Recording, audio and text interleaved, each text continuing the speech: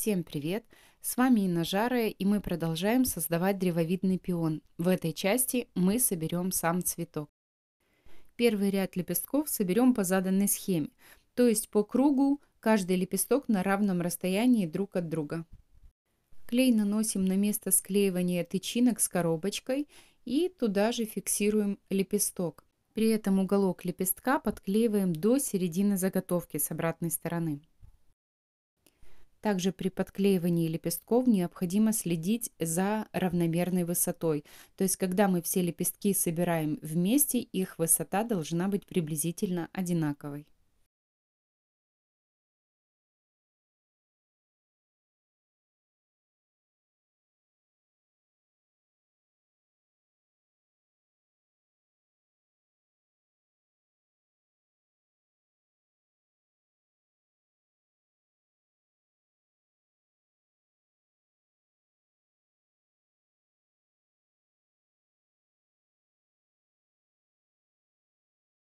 Следующих два лепестка будем подклеивать друг напротив друга.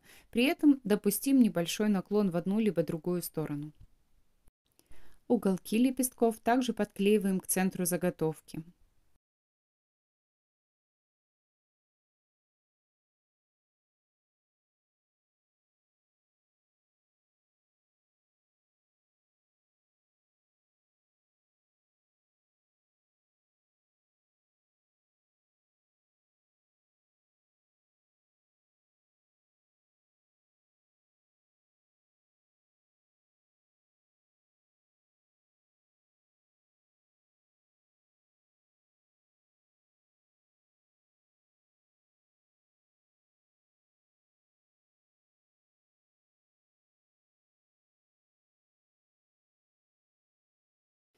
Следующий ряд состоит из пяти лепестков. Их будем подклеивать по заданной схеме.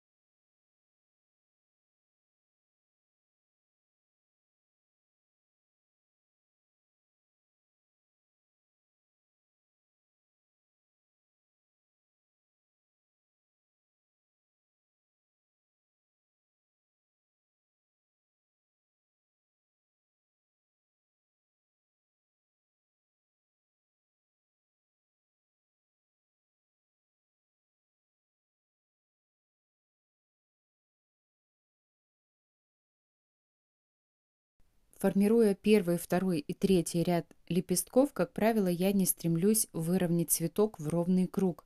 Это будем делать последующими рядами, а сейчас мне хочется придать воздушности, поэтому некоторые смещения допустимы. Лепестки четвертого ряда буду подклеивать на равном расстоянии друг от друга для того, чтобы создать равномерный круг.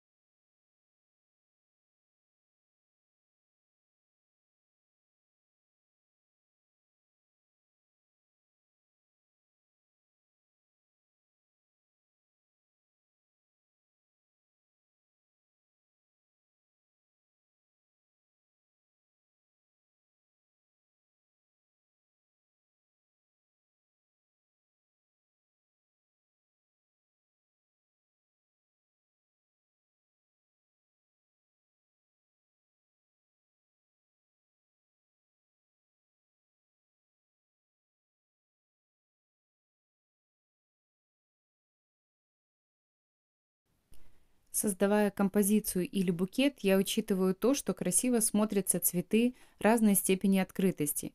И в этом случае можно остановиться, подклеить чеши листики, листья и цветок готов. Но я иду дальше и подклеиваю следующих 5 лепестков, чтобы сделать более открытый цветок. Лепестки пятого ряда буду подклеивать в шахматном порядке относительно четвертого.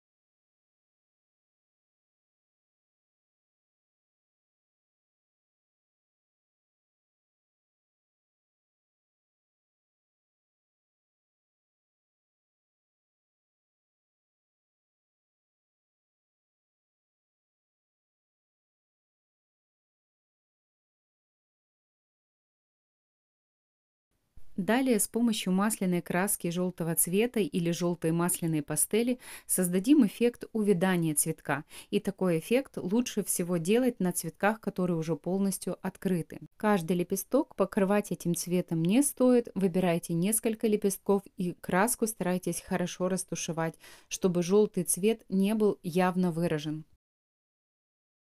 Тот же эффект можно создать с помощью масляной краски. Единственное, что масляная краска сохнет дольше.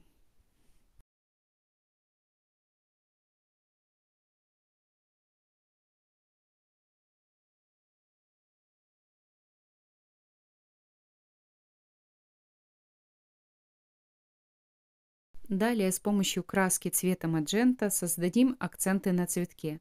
Но помните также, что не нужно переусердствовать, чтобы цветок не был очень пестрым.